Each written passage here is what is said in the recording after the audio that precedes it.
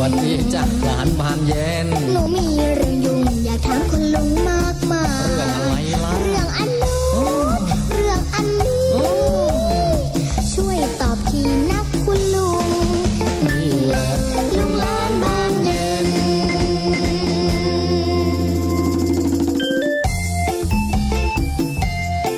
ทำไมคุณลุงไม่เอาปลามาเลี้ยงรวมกันล่ะคะ มันจะได้มีเพื่อนจะได้ไม่ เหงาด้วยโอ้ที่มันเลี้ยงรวมกันไม่ได้ครับเพราะว่ามันกัดจนตายดีครับถ้าเกิดปล่อยปลากัดอะปลากัดอะเข้าใจไหมมารวมกันแย่เลยถึงต้องเอากระดาษมาบังๆมันเอาไว้ไงเห็นไหมฮะนี่นี่นี่เอ๊ะไอ้นี่ตัวที่ท้องแล้วฮะท้องแล้วตัวเมียนี่ยังไม่ได้แต่งงานเลยจะท้องได้ยังไงหนูเห็นปลาอยู่ในขวดแค่ตัวเดียวไม่เห็นไปไหนเลย จะท้องได้ยังไงคะท้องได้ดีครับหลานบานเย็น เพราะว่าประกาศเนี่ยมันก็เหมือนกับเป็นกะไก่นะเวลาถึงวัยเจริญพันธุ์ เขาก็จะมีไข่อยู่ในท้องอยู่แล้วฮะนะแล้วจะทำยังไงให้มันมีลูกล่ะครับ ก็ต้องจับผสมพันธุ์ระหว่างเอาตัวเมียกับตัวผู้ใส่กันนะอ๋อ เราต้องแยกเอาไปรวมกันต้องเอาไปใช่หรวมกันครับ เอาไปรวมกัน แล้วมันไม่กัดกันเหรอครับ มันก็ต้องกัดกันจนกระทั่งตัวเมียบาดเจ็บแล้วเล็กน้อยแล้วก็รุ่งเช้าเขาก็จะรัดกันฮะ อ๋อ สถานการณ์ประกัดในประเทศเราตอนนี้เป็นยังไงบ้างครับ ได้รับความนิยมจากคนเลี้ยงมากไหมครับ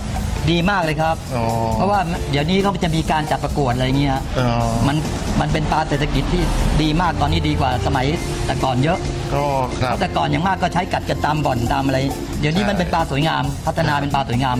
แล้วเรียกว่าราคามันก็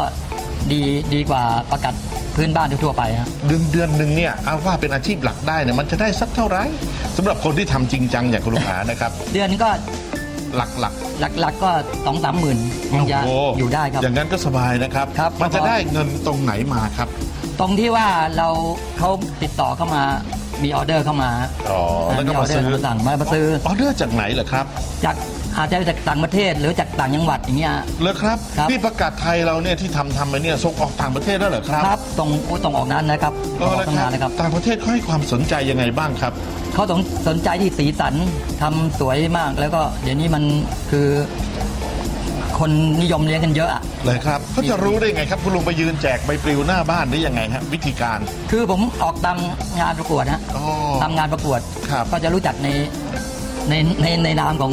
ประกาศทองเนี่ย อ๋อครับครับคุณลุงอาครับแล้วอย่างงานประกวดเนี่ยมันจะรู้ล่วงหน้ารู้ไกลไปถึงต่างประเทศเฉลอครับ รู้ครับเพราะผมลงในเน็ตนะอะ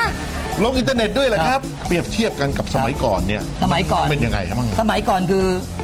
ได้แต่เอาไปส่งที่สวนจตุจักรอ่าฮะอาจจะรู้จักที่สวนจตุจักรหรือว่าสนามหลวงสองครับแต่สมัยนี้มันก้าวหน้ามาก ครับ เทคนิคก้าวหน้ามากลงในเน็ตเนี่ยขายได้สบายครับ ทั้งรูปทั้งวิธีการครัทั้บงโชว์ แต่ไอ้ปลาที่เราพัฒนาขึ้นใหม่ ครับ อย่างนั้นใช่ไหมครับ ถ้าถ้าต้องพัฒนาต้องพัฒนาจริงนะฮะ มันต้องได้สวยอย่างกว่าที่เดิมมาก ของคุณลุงพัฒนาเป็นยังไงได้บ้างแล้วที่คุณลุงภูมิใจและต่างประเทศเขาชอบอะครับ ตอนนี้มันเป็นประกัดทองนะ แล้วครับอ่าครับแม่แม่ประกาศคนทองพูดมาเยอะแล้วว่าทอง การที่เราจะพัฒนาสายพันธุ์ประกัดเนี่ยแปลว่าเราต้องนั่งคิดตั้งแต่เริ่มแรกเลยครับว่าเราจะทำให้เป็นอะไรใช่ครับให้เป็นทองอ่า เอาแล้วมันทำไงครับจะเป็นทอง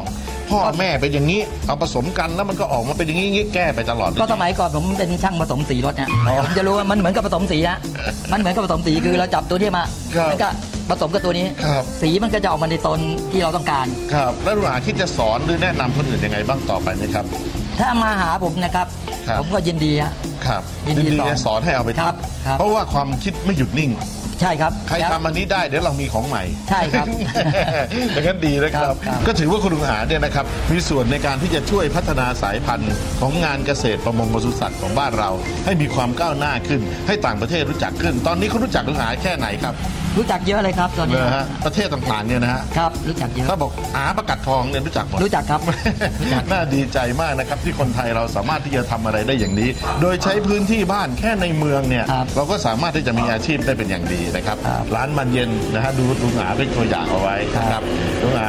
ยินดีที่จะให้หลานมันเย็นมาเที่ยวไหมครับอ้าวถ้าหลานบัณฑิตต้องการมาศึกษาก็มาได้เลยครับอ่ายินดีสอนครับ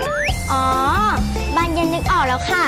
ที่คุณอาดิเลกข้างบ้าน พูดกับพี่แต๋วว่าไม่ใช่ปลากัดสักหน่อย จะได้มองละทองได้โดยเห็นพี่แต๋วกดใหญ่เลยนะคะ นั่นแหละเขาเรียกว่าสัมผัสสมดุลหลักถ้ามีเรื่องสงสัยจะถามใหม่นะคุณ